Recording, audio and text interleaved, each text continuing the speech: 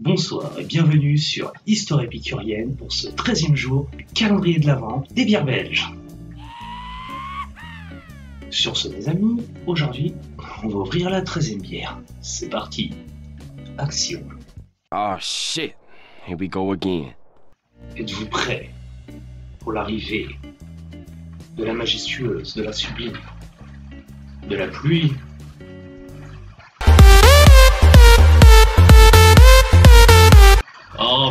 Putain, mais je vais pas y arriver à avoir une vidéo sans le bruit de la pluie. Bon bah je suis désolé hein, si vous l'entendez. Mais oui, c'est clair. Je vais pas y arriver comme d'hab. hein. Allez, c'est parti. On la sort. La magnifique, la grande, la sublime, la... Oups. Surprise, motherfucker. La Bavic Super 8 Fais du oui. Et pas 8, la 8, la Super 8. Ok. Donc, une bière blanche. C'est ça, une bière blanche. De 5 degrés. Facile à boire et rafraîchissante. Bah, c'est ce qu'on va voir, hein, on va goûter ça. Donc voilà, la Bavic. La magnifique Bavic. Non, je déconne, franchement, c'est pas beau. Le packaging est dégueulasse. Mais c'est de la merde. J'espère que le goût est bon.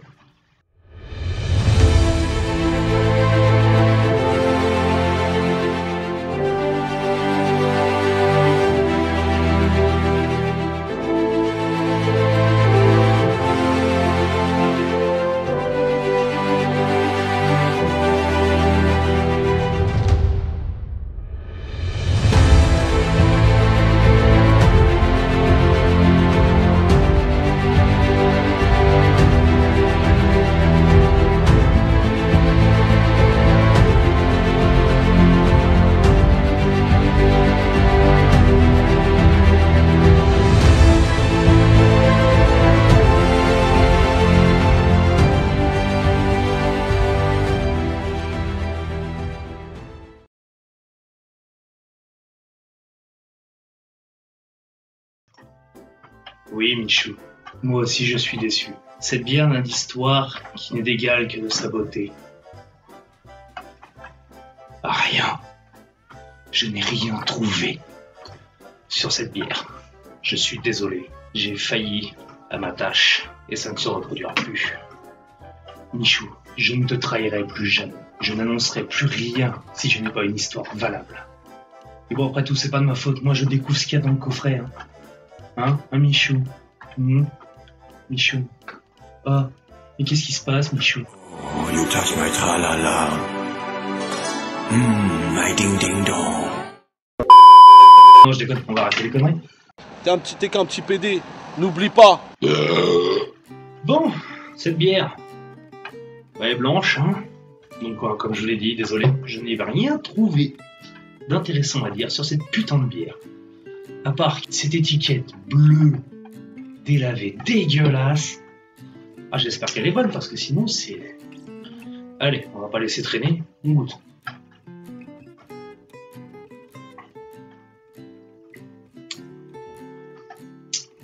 Ça se boit, on dirait de l'eau, quoi. Tu m'étonnes qu'ils disent facile à boire. C'est de la flotte. Bon, mes amis, vu qu'il n'y a rien à dire sur cette putain de bière, passons à la chaîne YouTube du jour avec ce qui est pour moi un hommage à cet homme qui, sans lui, cette dégaine sur cette chaîne. Oh, excusez-moi, mon col est dégueulasse depuis le début et personne m'a rien dit. Ça fait deux vidéos que je me travaille avec ce col dégueulasse. Je suis désolé. Sans qui, cette dégaine, costard trois pièces, petite cravate, bon bonnet non, n'existerait pas. J'ai découvert l'art sartorial grâce à cette chaîne YouTube, la chaîne Discussion sartoriale.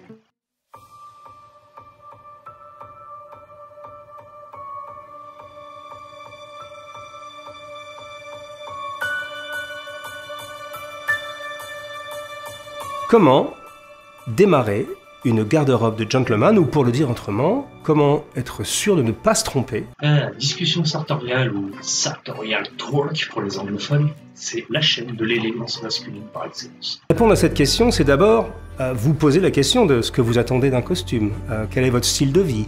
Quels sont vos moyens? Quels sont vos goûts? Pourquoi vous voulez acheter un costume? Est-ce que vous êtes obligé d'acheter un costume pour votre profession ou est-ce que vous avez pris la décision?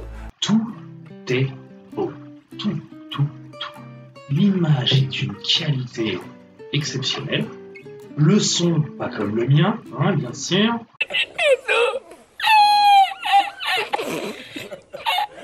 On n'a pas les mêmes moyens. hein. Et ce qui présente, putain, les costumes, m'a donné envie d'acheter des costumes. Mesdames, Messieurs, chers amis, bonjour et bienvenue dans ce nouvel épisode de nos discussions sartoriales. Aujourd'hui, comme je vous l'avais promis, nous continuons notre série sur les différents types de vestes que vous pouvez trouver quand vous achetez un costume.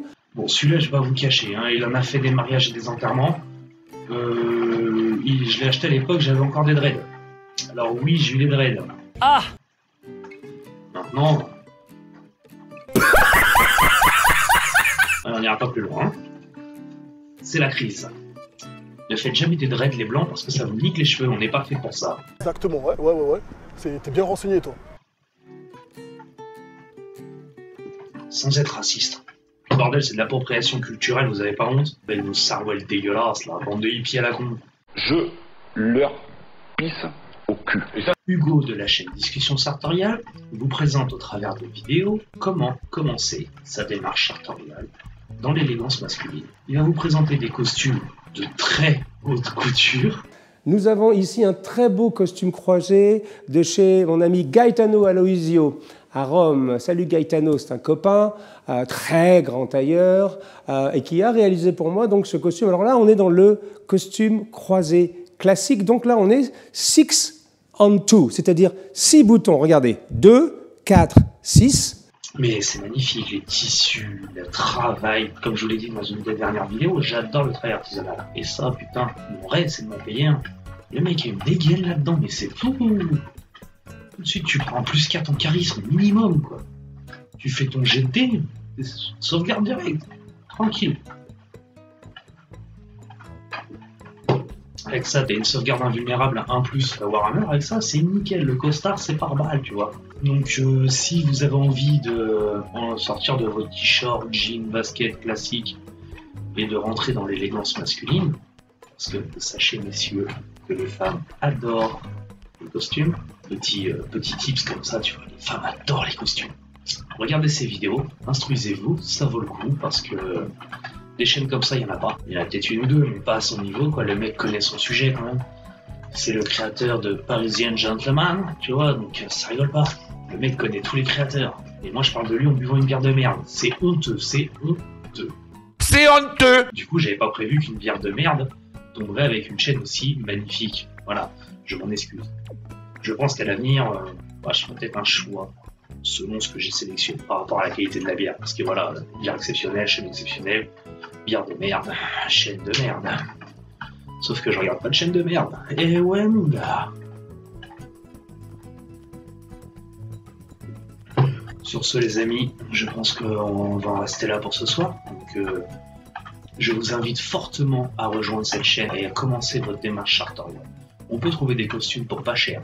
Bon, c'est sûr que la qualité n'est pas la même, mais au moins vous aurez une dégaine de bonhomme. Si t'es célibataire, t'as quand même envie de te caser un moment. Bah, sache que ça, ça marche. Même si t'es un smicard, l'impression que tu. Bon, après, fais gaffe.